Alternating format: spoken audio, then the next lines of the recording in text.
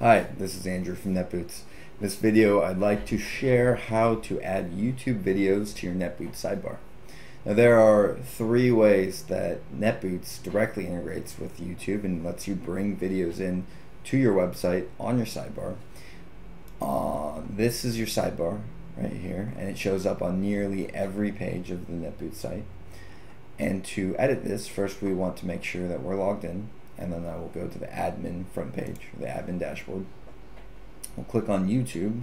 You can also find it in configuration YouTube. And this is the YouTube configuration page.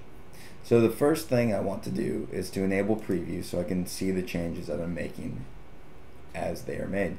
The second thing I want to do is make sure that this box is ticked, which will show, it will make sure that what settings we choose are actually shown on the front page or on the website itself.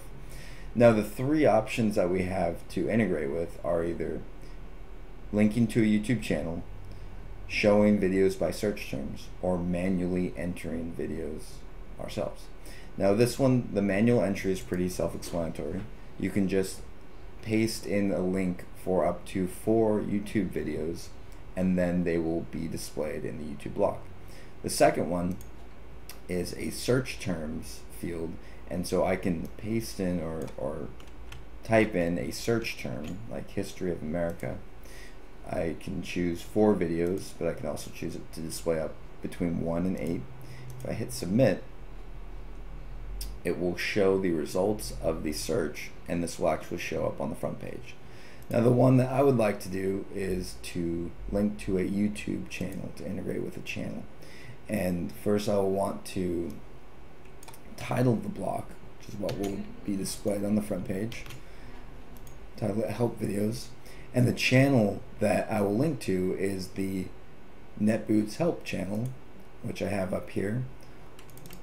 I'll copy the URL of the channel, paste the URL here, and as soon as I submit, we will have our videos from the NetBoots Help channel displayed in this in this YouTube block, and which can also be viewed now that we've saved it on the front page.